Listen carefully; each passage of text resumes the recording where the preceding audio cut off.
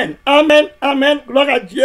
Aujourd'hui, on va parler de l'épée du roi. L'épée du roi. Le roi top puissant. Un roi 3 à partir du verset 19 au verset 28. Verset 16 au verset 28. Je n'ai pas assez de temps pour les il est question du jugement du roi Salomon. Voilà très clair qui est assis sur le trône d'Israël. Le roi Salomon était la préfiguration du, du règne de Christ. Oui, très clair. Il, était l'image de Christ qui régnera sur toutes les nations sur la terre, le prince du paix, de paix, parce que au temps de Salomon, il y avait la paix partout.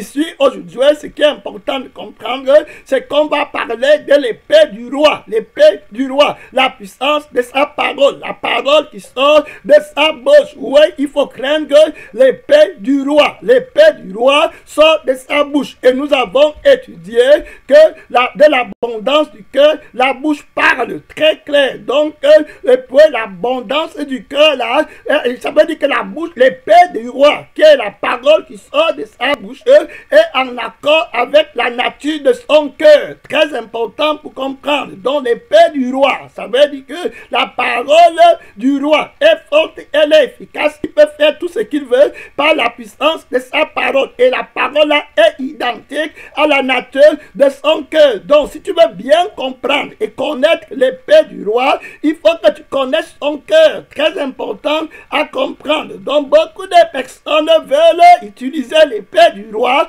et veulent être en accord avec l'épée du roi, mais ne connaissent pas son cœur. Et après, ils sont tués devant le trône de Dieu. Je parle aujourd'hui de l'épée du roi. Ici, il est question du jugement du roi Salomon. Il y a deux femmes, on a déjà prêché ça dans le message passé, mais il y a beaucoup de faces dans ce, passage de la Bible qui parle du jugement, voilà, de Salomon, de, deux femmes qui ont perdu, qui viennent revendiquer un enfant vivant, voilà, devant le roi. Et on a parlé de ça dans l'autre enseignement. Toi qui suis la vidéo, toi qui nous écoutes, si tu veux avoir un éclaircissement assez profond dans cet enseignement, tu peux taper ce titre sur YouTube. Voilà, un donne, le titre c'est Donne à la femme qui est sanctifiée, l'enfant qui vit. Donne à la femme qui est sanctifiée, à l'église, si tu veux. Voilà, je crois c'est donne à l'église qui est sanctifiée, l'enfant qui vit. Très important parce que nous avions montré dans cet enseignement que les deux femmes étaient la préfiguration de deux églises dont l'une est sanctifiée et l'autre n'est pas sanctifiée. Voilà, donc celle qui n'est pas sanctifiée, c'est celle qui dort la nuit dans le péché. Voilà, et qui ne connaît pas et qui n'a pas le lait de la parole qui sanctifie et qui est capable de faire que son enfant veille toute la nuit. Voilà, très clair. Donc, elle va tuer son enfant. Voilà, avec euh, le lait, de, avec le mauvais lait, la mauvaise parole, la mauvaise veille, et l'enfant va mourir. Maintenant, par jalousie, elle va aller vouloir prendre l'enfant de l'autre qui est vivant. Voilà, et elles vont partir devant le roi pour que le roi juge. Et nous avions dit dans l'enseignement là que les deux femmes là sont l'image de deux églises qui se trouvent sur la terre. Une est sanctifiée, l'autre n'est pas sanctifiée. Et les deux se revendiquent être du roi. C'est-à-dire que le roi qui juge, elle part devant le roi et elle revendique un réveil. Elle revendique une justice. Voilà. Et le Seigneur, le, roi Salomon va dire, faites venir l'épée. Voilà l'épée de la parole par laquelle il juge, il combat et il juge avec la parole. Voilà, c'est l'épée qui est venue trancher, très clair. Et au début, il faut bien écouter, hein. quand tu vas aller, le un roi 3, à partir du verset 16 jusqu'au verset 29 ou 28, tu vas bien comprendre la révélation qu'il y a du bruit là. Je vais raccrocher. Voilà. Quand tu vas bien comprendre la révélation qui est derrière cet enseignement. Voilà la révélation qui est derrière cet enseignement. Très clair. La révélation de la parole de Dieu. Donc les deux femmes vont avoir accès à la manifestation de la parole de Dieu. Donc Salomon va demander qu'on fasse venir l'épée. Et c'est l'épée qui va révéler la nature du cœur de ces femmes. Vous voyez très clair. Parce que la parole de Dieu, qui est son épée, a la capacité de révéler la nature des cœurs. Très important à comprendre. Voilà. Si tu veux être avec le roi de gloire pour juger, tout chrétien a la capacité de juger parce qu'il est le fils du roi. dont le premier jugement consiste à comprendre ce que la parole de Dieu veut dire pour toi-même d'abord. Voilà, très clair. Avant d'aller dire que Colette a pris mon enfant, Colette m'a fait comme ça. Il faut d'abord que pour toi-même, tu comprennes que tu es en accord avec le cœur de la parole de Dieu. Voilà, vous allez bien lire et comprendre ce que je suis en train de dire parce que c'est très profond. Voilà, Salomon va parler. Et quand il va parler pour le jugement là, ce qu'il va dire va apparaître différent dans la lettre. Voilà, très clair. Mais dans, la, dans le cœur de Salomon, c'est là où a la révélation. Ça veut dire quoi? Ça veut dire que la lettre de la parole est, est scellée. Voilà, il y a une révélation que tu dois avoir qui vient de la nature du cœur. C'est pour ça que c'est ceux qui ont le cœur peu qui comprennent ce que Dieu dit. La Bible dit heureux les cœurs peu car ils verront Dieu. Donc si ton cœur n'est pas peu, tu ne peux pas voir la révélation de la parole parce que la parole c'est Dieu. Au commencement était la parole et la parole était Dieu. Donc quand on prêche ici que tu es le cœur peu, si tu n'as pas le cœur peu, la parole tu ne peux pas la comprendre. Jésus dit que faites attention de la manière dont vous entendez. Jésus dit qu'un semeur est parti pour s'aimer et la, une partie des semences est tombée dans des terres qui avaient des épines, des terres qui avaient des inquiétudes. Et il dit qu'une autre partie est tombée dans la bonne terre. On a vu que la terre, là, c'était la qualité du cœur. Voilà. Qui reçoit la parole de Dieu. Donc, si ton cœur est bon, si ton cœur est pur, si ton cœur est lavé, si ton cœur est humble, la parole de Dieu va descendre entrer, tu vas faire exactement ce que la parole de Dieu dit parce que tu ne marches pas par la lettre, mais tu marches par l'esprit et par le cœur que tu as reçu. Donc tu connais la parole en fonction de son cœur. Les deux femmes qui sont l'image des deux églises qui sont parties se revendiquant être de la tribu d'Israël, se revendiquant être des juives, voilà, sont arrivées devant Salomon, mais elles n'avaient pas l'une d'entre elles avait le cœur de Salomon. Le cœur de Salomon, c'était le cœur de la vérité. Parce que le, Seigneur, qui est le roi, je parle de l'épée du roi. Hein? D'autant me manque pour entrer dans le message. Le cœur du roi, l'épée du roi est identique à la nature de son cœur. Très important. Donc, si tu méprises la nature du cœur du roi, tu ne comprendras jamais l'épée là qui arrive. Ça va te tuer, ça va t'exposer, ça va te ridiculiser si tu ne connais pas, il va manifester la lumière et la folie de ton cœur publiquement. Très important à comprendre. Prends garde à ton cœur plus que toutes choses. Méfie-toi quand tu appelles le nom du roi des rois. Quand tu n'as pas son cœur, fais attention. Cherche le Seigneur avec ceux qui l'invoquent d'un cœur pur. Quiconque invoque le nom du Seigneur, qu'il s'éloigne de l'iniquité. Très clair. Ne t'attache pas à une chose mauvaise quand tu sais que tu n'es pas dans la vérité. Voilà, il va te ridiculiser dans ta prière, dans ton jeûne, dans tes offrandes, dans tes dons. Il dit qu'il va te rejeter dans ton sacerdoce, dans tout ce que tu es en train de faire, dans ton zèle. Il va dire qu'il ne t'a jamais connu. Comme il a dit dans Matthieu 7, verset 21, que plusieurs me diront, on a prophétisé, on a fait les miracles, on a chassé les démons, on a guéri les malades en ton nom. Je leur dirai, je ne vous ai jamais connu. Vous qui m'ont commetté l'iniquité. Ça veut dire que vous ne connaissez pas mon cœur. Je suis la sainteté, la beauté de Dieu. C'est la sainteté, la rayonnance de Dieu. C'est la sainteté, c'est la lumière. Voilà, c'est la vérité. Jésus est la lumière du monde. Voilà la beauté par excellence. La lumière qui éclaire les cœurs. Le vrai ministère de la parole, c'est la parole qui convertit les Voilà, qui amène les cœurs du monde pour les amener au ciel, qui les détache de la terre, du moi. La terre, c'est aussi le l'image du moi. Voilà, quand la parole arrive en toi, ça trouve le moi, ça se gâte. Voilà, très clair. Ça se gâte. Tu ne conserves la parole pour des mauvais motifs. Au lieu de prendre la parole pour connaître Christ et servir ton frère, tu prends pour vouloir manifester l'orgueil. Ça, se voit très clair devant les yeux de ceux qui vivent par le cœur de la parole. Voilà, très important.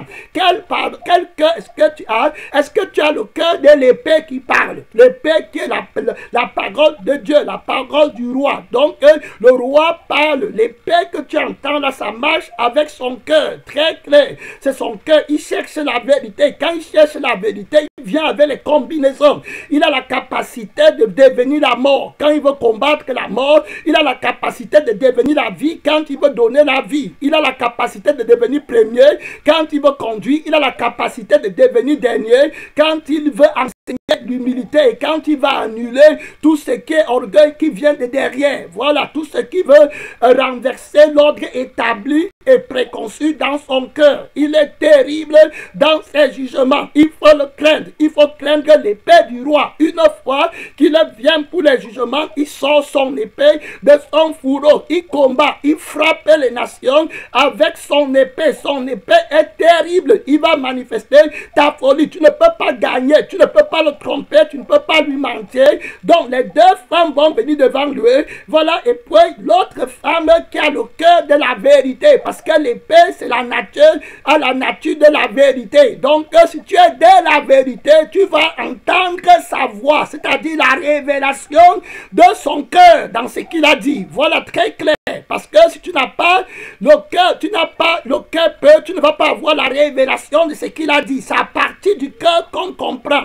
Jésus dit clair, je n'ai pas le temps d'aller lire les versets bibliques. Jean 7, tu vas lire très clair, tu vas lire dans Jean 7, 16, 17, tu vas lire dans Jean 5, verset 30, très clair comment il parle, comment il juge, comment il comprend. Voilà, de toutes les façons, Jésus est le roi qui juge.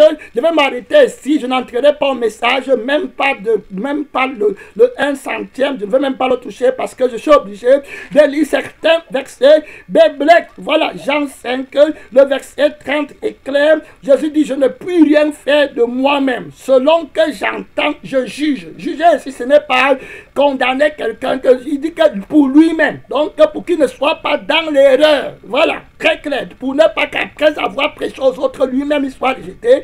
Donc, il entend, il juge pour garder son cœur pur, c'est qu'il n'entre pas dans la ligne du cœur qu'il connaît et qu'il a du Père n'est pas de Dieu. Le cœur qui ne vit pas pour soi-même. Donc toute révélation, tout déguisement, toute contrefaçon de la parole de Dieu qui vise autre chose que l'éternité et que la dévotion complète pour Dieu, ça n'entre pas en lui. Il comprend, il juge, il connaît qui parle, il connaît quand Satan parle, même quand Satan prend la lettre pour parler, il comprend.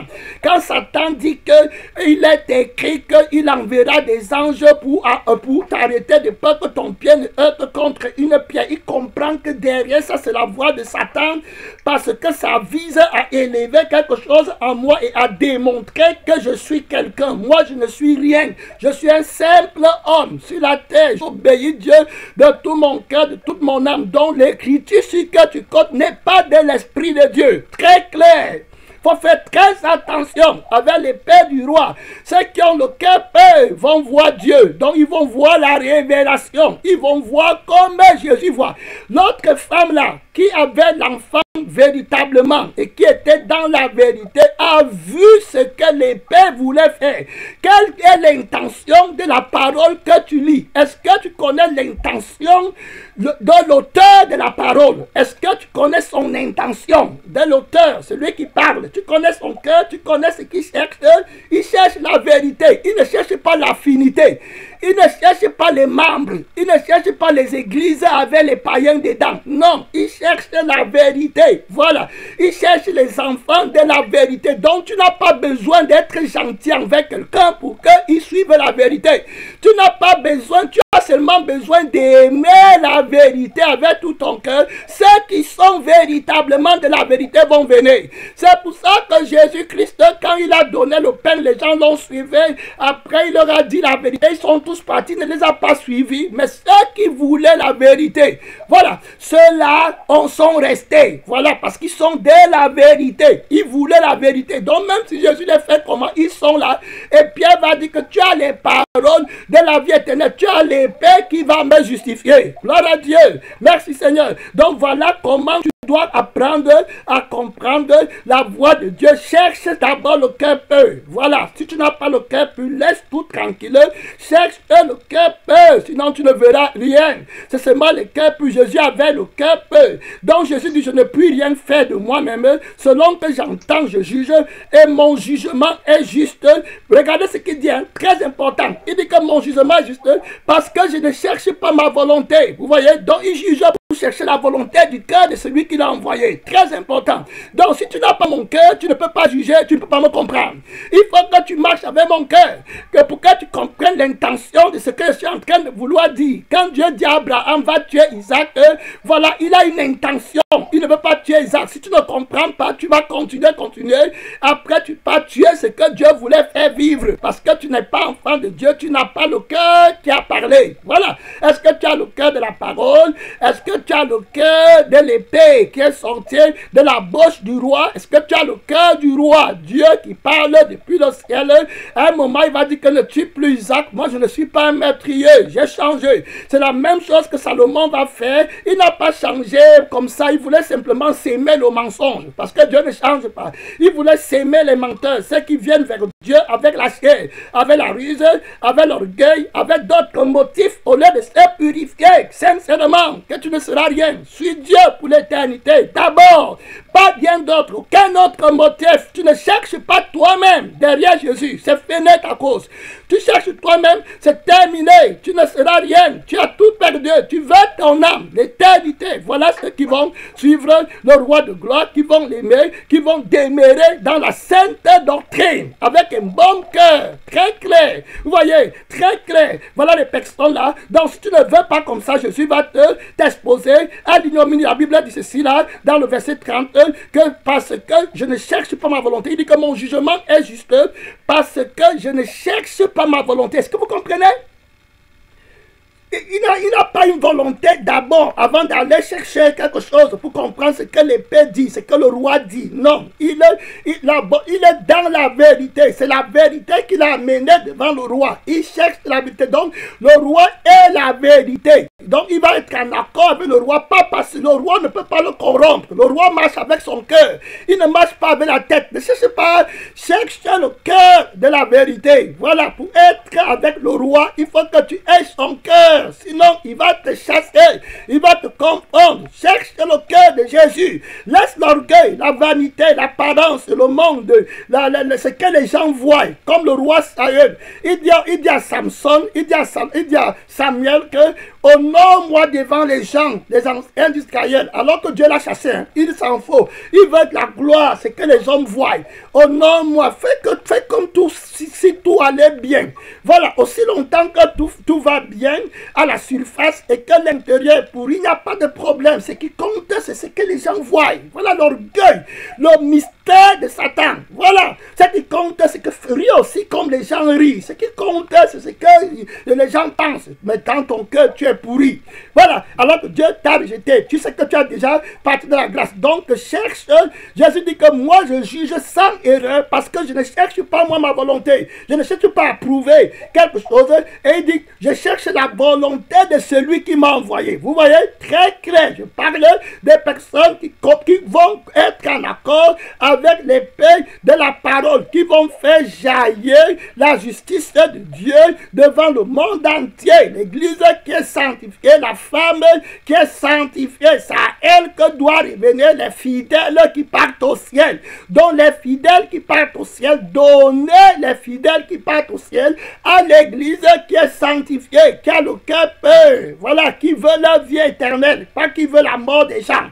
Voilà, très clair. Quand Salomon dit apporte l'épée, on va couper l'enfant de. Elle est là, elle court, elle veut manifester la folie de son cœur. Qui t'a dit que la Bible dit que on va tuer les gens, tout ça. Je suis venu pour donner la vie éternelle. Christ, quand tu le souhaites, il est la vie éternelle. Quand il parle de mourir, de couper, c'est pour tuer l'enfant qui est mort. Amen. Mais l'enfant qui vit, lui-même, il est la vie. On ne va pas donner l'enfant qui vit à une église qui est morte. Très clair, c'est très clair. Jésus ne va pas juger comme ça. Donc si tu es un enfant vivant, Jésus va te donner à l'église qui vit. Très clair. Beaucoup de gens sont dans l'erreur là-bas dehors. Vous dites, Seigneur, comment tu les laisses? Comment tu les laisses? Laisse les morts enterrer les morts. Toi, vas annoncer la parole de Dieu afin que quiconque ait de la lumière et de la vie entende la voix de la vie et vienne à la vie. C'est ce que le Seigneur dit à ces petits Kevin Jomo. Il dit que va rassembler les tiens. Il faut comprendre. Hein. Il lui dit que va rassembler les tiens. Voilà, c'est-à-dire que ceux qui sont de la vérité, voilà, ceux qui cherchent la vie éternelle, pas le, parce qu'ils veulent entendre. Il faut bien comprendre. Parce qu'ils veulent faire manipuler la norme c'est ceux qui sont de la vie éternelle, ce sont ceux-là qui vont être rassemblés par l'Esprit de Dieu qui est le pasteur de l'Église. Ananias et Saphira, ils voulaient entrer par la porte autre au lieu d'entrer avec le cœur. C'est le Saint-Esprit qui est le pasteur de l'Église. Il voit tout, tu ne peux pas lui mentir. L'épée, c'est son esprit. Je m'en vais dans la parole de Dieu, la parole qui est assise sur le trône. Dieu, la parole. Voilà. Il fait tout par sa parole qui a créé le ciel et la terre. C'est la parole, mon frère. C'est la parole, ma soeur. La Bible dit dans Ephésiens, on va bientôt prier. Ephésiens, chapitre 6, verset 17. Prenez au-dessus. Voilà, très clair au-dessus tout, voilà le casque du salut et l'épée de l'esprit. Donc l'épée que Salomon prend, c'est l'épée de l'esprit. C'est l'esprit qui manie l'épée entre les mains des hommes. Les hommes ne connaissent rien, les pasteurs, les prophètes ne connaissent rien, c'est l'épée. Pierre ne connaissait rien, c'est l'épée de l'esprit qui va te frapper. Si tu ne veux pas t'humilier maintenant, l'épée Dieu, l'épée de la parole, il a un cœur et c'est en fonction du cœur que la parole juge. La Bible dit que prenez aussi au casque du salut et l'épée de l'esprit qui est la parole de Dieu. L'épée de l'esprit, l'épée de la parole, l'épée du roi. Voilà le mot, voilà le titre du message. L'épée du roi qui règne, c'est Jésus. L'épée là connaît toutes choses. Répands-toi véritablement devant, avant d'arriver devant le roi. Il connaît toutes choses. Proverbe 12, la Bible est claire, parle de l'épée du roi, très clair. Voyez un peu la Bible est claire quand tu parles du proverbe, excusez-moi, dans Hébreu 4, le verset 12, la Bible est claire car la parole de Dieu, on parle de l'épée du roi, on va bientôt prier. Voilà, on va, réveille-toi, réveille-toi, réveille-toi, chasse tes pensées, tu vois, tes pensées sont loin, enlève, on ne pêche pas sur toi, la parole de Dieu, reviens toi-même. Hébreu 4, les, les forces de l'abîme sont en train de combattre la parole que tu entends pour que ton cœur soit purifié il va t'amener à te centraliser sur toi-même pour que la terre du cœur soit mauvaise et que la parole n'entre pas combattre. Dis que tu es venu pour la parole de Dieu, tu es venu pour mourir avec Christ, pour entrer dans la nouveauté d'éveil. La Bible dit dans Hébreu 4, verset 12, car la parole de Dieu, qui est l'épée de l'esprit, est vivante et efficace, plus tranchante qu'une épée à deux tranchants regarde bien ma soeur, mon frère, ne t'amuse pas avec les paix du roi. Très clair. Il est top puissant. Il paie les nations avec son épée quand il vient combattre la bête et le faux prophète, le maître, la, bête, le faux prophète. Voilà le fils du péché, le fils de la perdition. Voilà. quand il vient les combattre, il sort avec son épée. Les démons craignent son épée flamboyante. Une épée aiguë sort de sa bouche, mon frère. Ma tu vas tenir devant l'épée de Dieu, devant l'épée qui sanctifie devant l'épée qui purifie, devant l'épée qui transforme. Tu vas tenter la parole de Dieu, tu vas tenter Jésus-Christ, ma soeur, mon frère. La Bible dit qu'il a une épée à deux tranchants. Voilà, son épée pénètre jusqu'à partager l'âme et l'esprit, mon frère. ma soeur, pourquoi tu veux te cacher avec la justification Répands-toi complètement. Répands-toi, fais ta restitution. Accepte que c'est la parole qui règne pour l'éternité. Méfie-toi, ne tords pas la parole, ne t'amuse pas avec la parole dans ton cœur, ne te donne pas des idées autres que sur la parole. Cherche l'éternité, cherche Dieu, le Dieu vivant, il va te justifier. La parole, l'épée qui est venue pour te sauver est en train de sortir maintenant. Répands-toi, fais ta paix avec Dieu. La parole connaît toutes les choses. Ananias et Saphira n'avance pas trop. L'église appartient au Saint-Esprit. Méfie-toi avec l'esprit de la parole de Dieu. La Bible dit que la parole là, voilà l'épée des rois, l'épée de Jésus est capable de partager la jointure et la moelle. La Bible dit que dans le livre de Hébreu 4, verset 12, la parole de Dieu, l'épée de l'esprit juge les sentiments et les pensées du cœur. Ma soeur, là où il y a la parole de Dieu, tu ne peux pas t'amuser, mon frère. La parole, où la parole règne, où la parole parle, où la parole commande, où la parole discipline, où la parole châtie.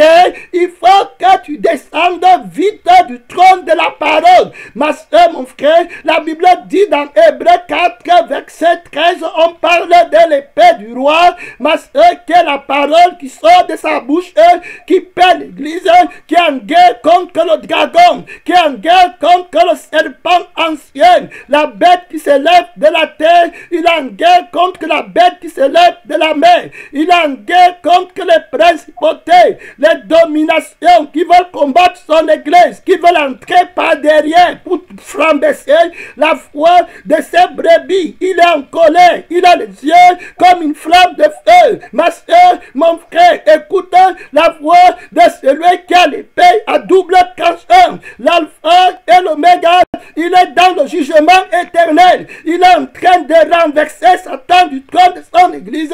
C'est l'heure de te repentir. Véritablement, c'est l'heure d'entrer par la porte étroite. Hébreu 4, 13 dit que nulle créature n'est cachée devant la parole. Nulle créature, comprends bien, nulle créature dans le ciel, sur la terre, sous la terre, nulle créature n'est caché devant lui, mais tout est à nous. A découvert l'épée du roi, va sortir, la parole de Dieu. Ton cœur va être dévoilé. Ma soeur, mon frère, méfie-toi, c'est la parole qui règne, c'est l'heure de venir avec crainte et tremblement. Oui, ma soeur, avant que le décret ne sorte, le décret de celui qui veille, le Seigneur des Seigneurs, le roi de gloire, il dit sans effet, je suis l'alpha et l'oméga. La Bible dit que tout a découvert aux yeux de celui à qui on doit rendre compte. À la parole, à l'épée de l'esprit, ma soeur, il est en combat maintenant.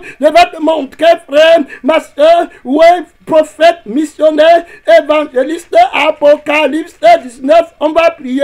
La Bible dit au verset 11, puis je vis le ciel ouvert et voici paru un cheval blanc. L'église est en guerre contre Satan, contre l'erreur, contre la bête, contre la sirène de la contre l'esprit de malice de ruse, contre toutes les machinations diaboliques qui sont sorties de l'abîme pour combattre l'église. Jésus est debout il combat en vainqueur. Il dit que c'est lui qui montait le cheval s'appelle fidèle et véritable. Et il juge et combat avec justice. On va prier. La Bible dit que ses yeux étaient comme une flamme de feu. Je parle des yeux de l'épée que tu vois de la parole de Dieu. Sur sa tête étaient plusieurs diadèmes. Il avait un nom éclair que personne ne connaît. Si ce n'est lui-même, le nom là, mon pasteur, le nom là, mon frère, c'est le mystère de Dieu. Tu ne connais pas Dieu, ma soeur, il est fini. Mon frère, tu ne, il est, tu ne, même le diable, si le diable savait qu'il devait perdre le combat, il n'aurait pas commencé la rébellion. Ma soeur, mon frère, il connaît toutes les choses. Tu es de quel côté, de quel côté tu veux être?